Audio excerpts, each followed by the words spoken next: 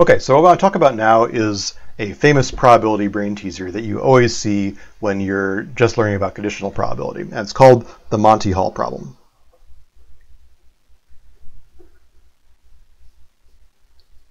And it's named that because there is this TV show called Let's Make a Deal, and it was hosted by this guy named Monty Hall. Um, but now I guess in the US it's hosted by Wayne Brady. Anyway, setup is the following. So you have three doors numbered 1, 2, and 3. Behind one of these doors is a new car, and behind the other two doors are loser prizes like goats, okay? And the setup is that you're the contestant. You choose a door.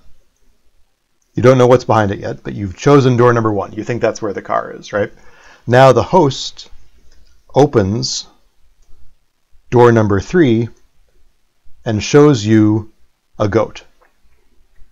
And the puzzle is, should you switch to door number two?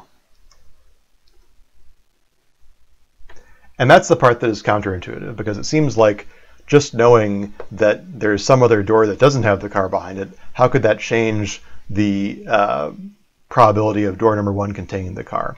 Uh, should you switch or not? Turns out that you should switch, definitely, um, but it's so counterintuitive that I remember that when I was a kid, this was like a brain teaser in the newspaper, and people wrote in, you know, to say it's crazy, you shouldn't switch, it doesn't matter. Um, and there have been pe- papers written about it, and lots of famous and smart people have gotten mixed up about this problem. But it turns out with with simple conditional probability, you can show for sure why you should switch. So let's do that. So I think the easiest way to do it, of course, there are like a zillion Monty Hall videos online, and so uh, if you don't like mine, you can find some other one. But I think the easiest way to understand it is to quickly make a table of the door that the car is actually behind, the door that the host opens, and the probability of the host opening that door given where the car is, right? So we're kind of making a table of conditional probabilities. And so there are, three doors where the car could be, and there are three possibilities for each door where the host might open. Okay, and some of these things that we're going to see are not possible, right? So you pick door number one. Okay, so the host is never going to open door number one, right? The whole point is to tempt you to switch or not, right? So definitely, under no circumstances is the host going to open your door to show you what's inside, right? The only thing he can do is open up a door where the goat is, right? So in the first case, you pick number one. That's actually where the car is. Now the host has the option of either opening number two or number three to show you a goat. Doesn't really matter to him. So let's suppose that each of these things is probable with probability one half, okay? Now, you pick number one. If the car is actually behind number two, then clearly the host can't open that door to show you the car. He can only open number three to show you a goat, right? So he's not going to open number two, he's only going to open number three, okay? Now, conversely, if the car is actually behind number three, he can't open number three, he has to open number two. So only when the car is actually behind your door does the host have a little bit of a choice about what other door to open. Otherwise, there's only one remaining door that has a goat behind it that the host is able to open. Okay. So now let's compute uh, what is the probability of uh, car equals 2 given the host opens 3, right? This is basically the answer of should you switch, right? If this number is greater than a half, then we should definitely switch. So we can figure out what this is by Bayes' rule, right? This is the probability that the car equals 2 and the host opened 3 over the probability that the host opened 3. Okay? And I can expand this even more to say, okay, the denominator is the same, or I'm sorry, the numerator is the same. And I'm going to um, have to abbreviate a little bit. So this is like saying the probability that car equals 1 given that, um, whoops, the other way around.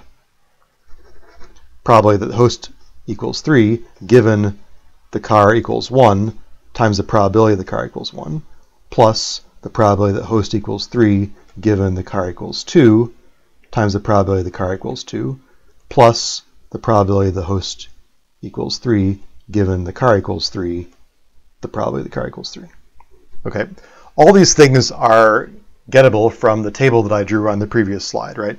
So I know that the probability that the car equals 2 and the host equals 3, right? So that's like saying, um, well, actually, let's do the bottom part first.